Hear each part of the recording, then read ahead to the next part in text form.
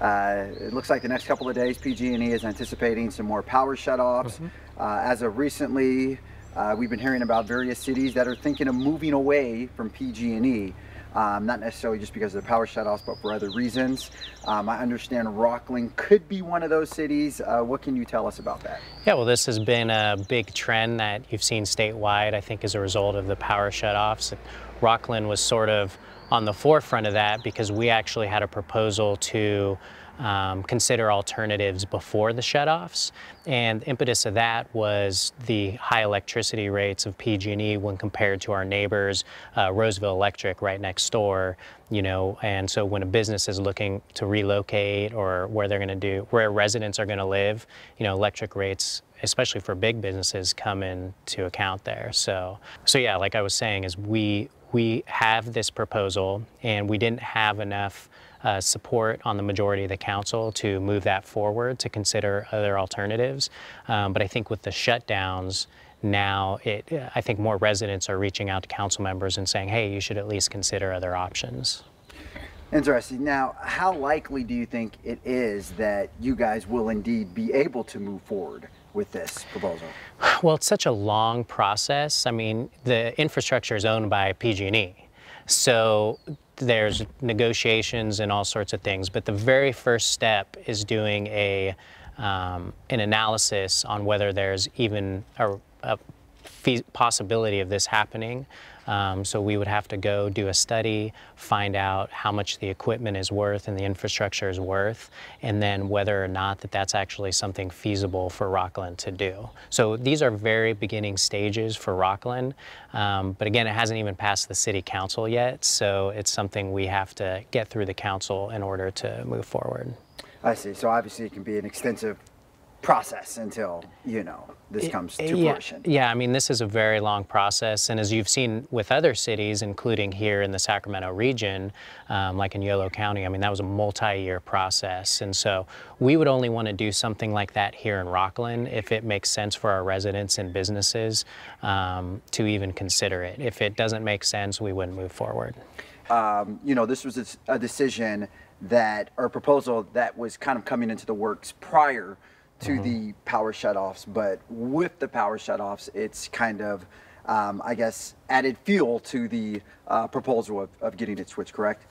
Yeah, exactly. I mean, the um, as I mentioned, the proposal was before um, uh, the power shutoffs, mostly because of high uh, electricity rates and things like that. But with the shutoffs, more residents and businesses are becoming concerned about, um, you know, the reliability of power. So here in Rocklin, for me personally, it's elevated the discussion to say, hey, look, we need to look at this and see if we can, if there are alternatives out there to provide more reliable power. So the grid's very complex statewide. I don't understand it. I don't have all the answers, which is why my proposal is simply to just investigate what the options are, and then so we can make an educated decision.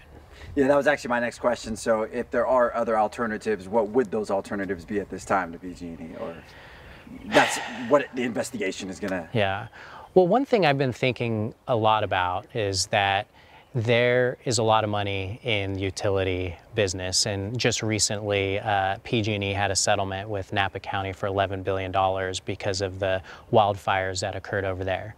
Imagine if we spent that $11 billion on innovation and creating a more reliable grid. And so I think about the opportunities that are there for people to come in, engineers, and innovate the grid and be more helpful. So whether or not Rocklin moves forward on its own uh, power uh, source, is it possible to innovate our grid statewide uh, with funds that are coming in?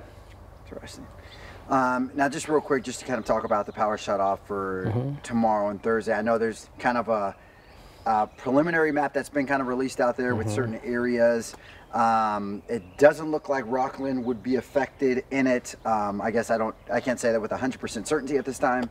Uh, what have you guys been doing to, I guess, anticipate and prepare for it in the event? Yeah.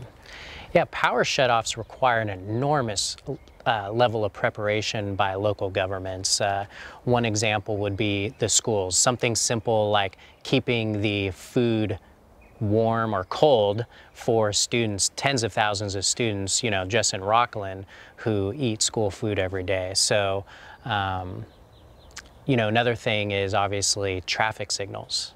Uh, we use traffic signals every day. Well, most cities, um, the traffic signals will only stay up for uh, several hours after a power shutoff. So what happens if it exceeds eight hours, the traffic signals go off. And so all that preparation, notifying people what's going to happen, how to stay safe, you know, that's been top priority for us. Good deal. So, you know, with that being said, I mean, obviously districts for the most part have plans in place or backup plans in the event that something happens. Um, traffic lights, as you said, is always an interesting thing. When we were out covering it two weeks ago, we saw just the backup mm-hmm. of traffic, and so there's a lot of things that obviously we rely on every day that we don't know. Um, you, you know, I, like I said, it doesn't look like Rocklin will be in it, but um, I guess with that being said, uh, is there anything else that you would want your residents or the people of Rocklin to know um, within the next 48 hours, if it is, like, you know, uh, to reassure them that things will be okay and, you know, business will go on as usual? Well, here in Rocklin, I mean, in probably every city, the police departments, fire departments, we're going to be there to assist if there's an emergency. Um, cities services are still going to be functioning. Um, I think what's really important for residents to go out and make sure you have your batteries, have your water, have some food just in case you're not able to, uh, to keep that cold for several days. Yeah, I think I think the state needs to really put together a system for local jurisdictions and cities on how exactly these notifications work, how you can prepare. So every time one of these happens, we're not recreating the wheel and becoming more and more uh, concerned about how we're going to protect people. I mean, if this is happening several times a year, how exactly do we replicate this? And this is happening statewide in many cities throughout the region. And so it's not really a Rocklin issue, it's a statewide issue that needs to be addressed this coming year.